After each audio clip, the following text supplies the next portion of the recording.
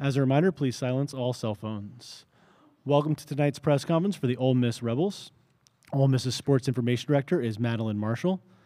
Today we are joined by head coach Yolett McPhee McCuin and student athletes Angel Baker and Snudda Collins. Coach McPhee McCuin, would you like to make an opening statement? tons of respect, sorry, for Gonzaga. Um, incredibly uh, well coached program, uh, team. Um, they've done a lot of great stuff all season, fought through adversity. I consider Lisa to be a friend, so um, I'm just glad we're on the winning side. We knew it would be a, physical game. We knew um, that we were on their time zone. Um, it was their comfort, but uh, we felt like if we defend, good things could happen. And it's one of the sayings we say is we pack, pack our defense in our suitcase, so no matter where we go. So really proud of our group. We'll now take questions for the student athletes. As a reminder, please state your name and affiliation at the beginning of each question. If you're on the Zoom call and have a question, please use the raise hand function. I'll call on you if we have time. Alex Simon from Bay Area News Group. Angel, when you were at Wright State, you pulled off an NCAA tournament win to transfer here and now help Ole Miss get an NCAA tournament win for the first time in years. Just what does it mean for you to be able to do this and help the program achieve this? It means a lot. It's very exciting. Um, I think Team 48 deserves this. I feel like we worked hard for this, and uh, this means a lot for this group. We had a lot of goals, and uh, this is one of them, so it feels great.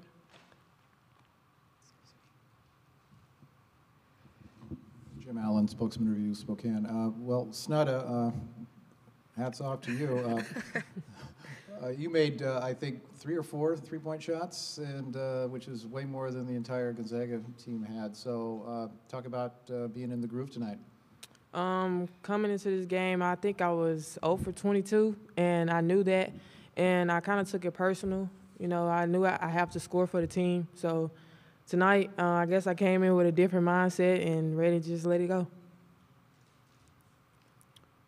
We'll go to Zoom for the next question. Um, Michael, you can ask your question. Hey, Snudda, uh, Michael Katz from the Daily Journal. Uh, you've, you mean you you've seen this program build up, uh, all, all the different parts. What is what does tonight mean to you to get the NCAA tournament win and, and, and take that next step for this program? I mean, it means a lot to me. I've been here, you know, when we wasn't the absolute best, but we wasn't the worst either. But um, last year we came here, went in the first round, we lost, and um, of course we kind of, me and Maddie, we took that personal, and we was like, next year when we when we come back, we're not losing the first game. So that's been our goal from the beginning of the season, and now we we've accomplished it. Alex Simon from Bay Area News Group. For both of you, I- I don't know how much, if any, of the game before you saw, but have you guys even thought about the fact that you're about to play, you know, one of the top teams in the country and a recent national champion in Stanford?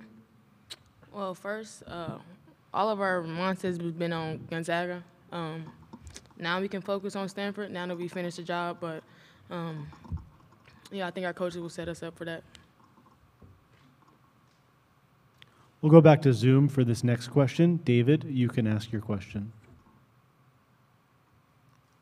Um, David Eckert, Clarion Ledger. Um, I guess I guess for both of y'all, um, you know, everybody was talking about Gonzaga and the way they shoot the three coming into this game. Um, I know, obviously, you guys talked so much about how much pride you take in your defense. Was it was it kind of personal, I guess, for, for you guys to, to stop that, to, to run them off the line the way you did tonight?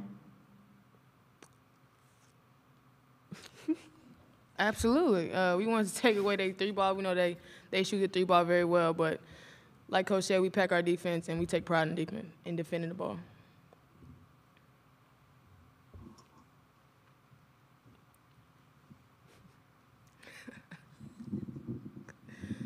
Cheryl Coward, Hoopfeed.com.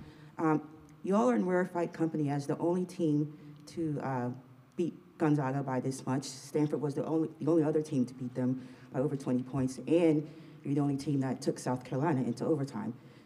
And uh, Stanford was the other team that took them into overtime. So, given those two facts, does that give you confidence going into play Stanford on, on Sunday? Um, after the um, South Carolina game, that kind of showed us, you know, what we could do. So um, I wouldn't say that this particular game gave us confidence. I mean, we already know what we can do if we defend and dictate and disrupt. So, you know, we're just ready. Hi, ladies. Uh, Janie McCauley from Associated Press. So you actually keep track of the misses you have, but I mean, is that something your team does? And then just to, to or is somebody giving you a hard time in practice, or how's this going? You just said you'd missed 22 in a row. Do you remember your last one I- that you made? I I personally, I personally keep up with it. You know, I go it. back and look because I mean, I know I didn't make any shots. You know, in the SEC tournament, so I just wanted to see like how many did I take in an attempt. So that's how I knew that Okay, but it was three pointers or, or field goals? it was both. It was rough. Field, field goals. It was rough. Oh, so you really were in a little. Uh, Yeah, I was, I was in a, I was in a little slump. Okay. How did you kind of just hit the practice floor, you know, this past week and say, okay, I'm gonna, I'm gonna knock these down? Um, just not overthinking and just shooting how I know I could shoot and just being ready. Angel, did you know that Snudda had missed that? I, I did not know that. Every time Snudda shoots, I think it's going in. So A- And to kind of, you, I know Snudda brought up Madison, but for her to make the impact that she had on both ends of the floor as well, well, well, can you speak to kind of what she has meant for you guys in these big games? uh, Maddie just brings something that nobody else can bring. Her energy, uh, the way she defends the ball, her length is just, like I said, nobody else can bring it. And it's, I'm very grateful to have her for, as a teammate, for sure. Any more questions for the student athletes? Thank you, Angel and Snudda. You can rejoin your teammates in the locker room. Thank you. We'll now take questions for Coach McPhee McCuin. As a reminder, please state your name and affiliation at the beginning of each question. If you're on the Zoom call and have a question, please use the raise hand function. I will call on you if we have time. All right, Michael Robertson, African American athlete. So first of all, Coach, it's a coincidence that I was actually born in Lafayette County, or I'm sorry, Lafayette County. Okay. and um, so it's always a cool deal whenever Ole Miss is involved. But my question is, uh, now that you guys advanced to this level, what is it going to be like to go up against Tara, you know, a legendary coach, and and like Will said earlier, a team that won a couple years ago. So, what is the moment like for you right now? it's it's incredible. You know, um, I grew up being a student of the game, so obviously Tara is someone that I've, I've admired, but I've had time to like meet with her a couple times. But I think this is the first time she like knows who I am. um, as far as playing uh, a team that has had success, I think she would even say that that's in the past. You know, we don't, you know, that we've had a lot of success and we don't talk about it. We're going to focus on the present.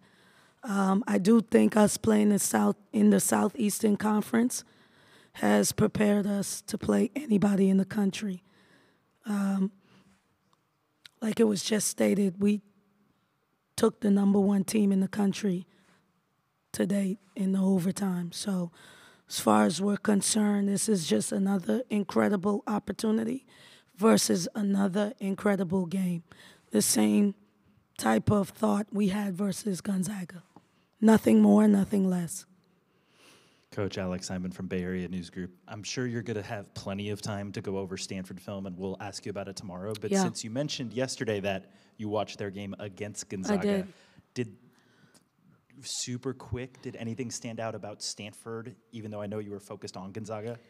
Uh, I mean, I just think Stanford's just a great team. I, I listen. I look at, I watch a lot of basketball. So had Sacred Heart won, I would have been prepared. Uh, so, and Stanford has watched us. You know, we got a lot of calls from Stanford when we almost beat South Carolina. I think they were rooting for us. So, um, uh, you know, I, we just have a lot of respect for them. They're just super talented. I know Cameron didn't play tonight, but we'll expect her to be there on Sunday. Um, they're just a really solid team. They're experienced.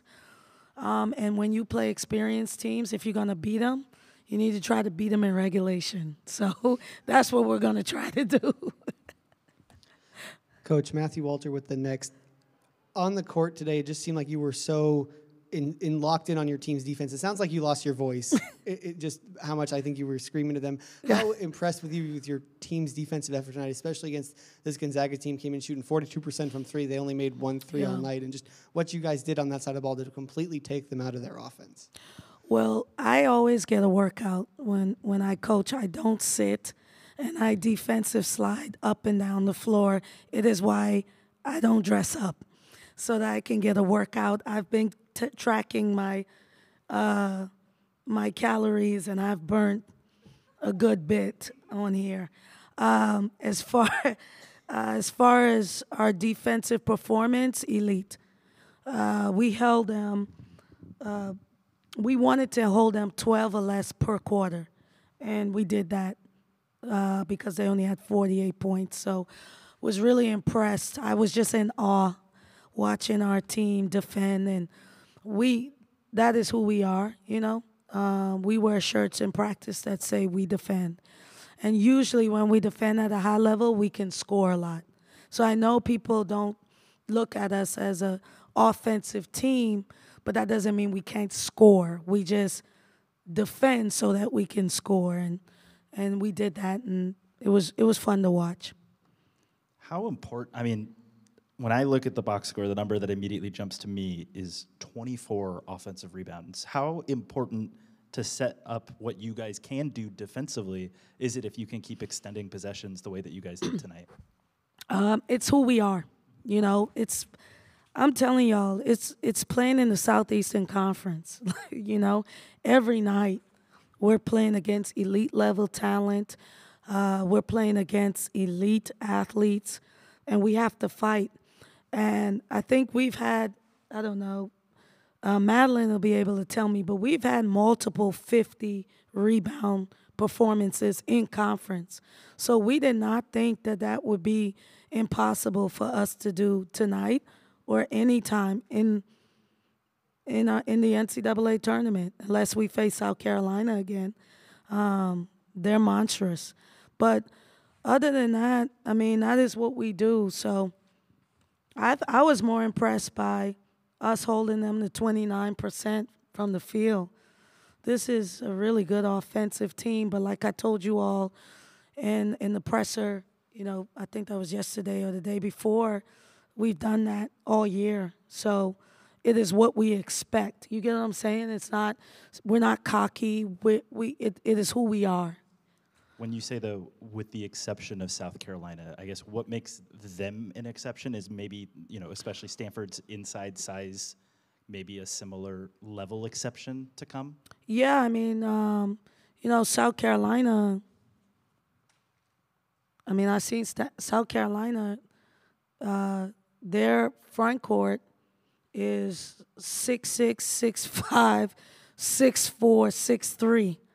Um, Stanford's big, but I don't remember their two guard being six three. you know, um, so listen, I I think that they're gonna be um, really good on the glass as well.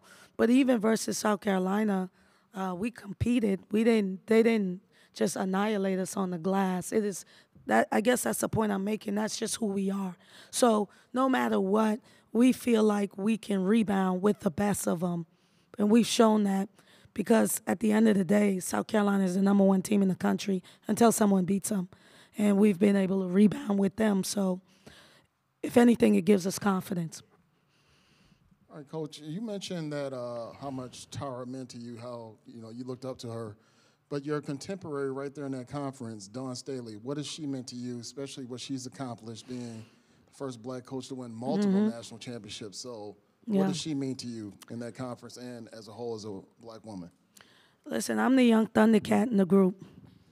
All right. Um, I look up to a lot of coaches.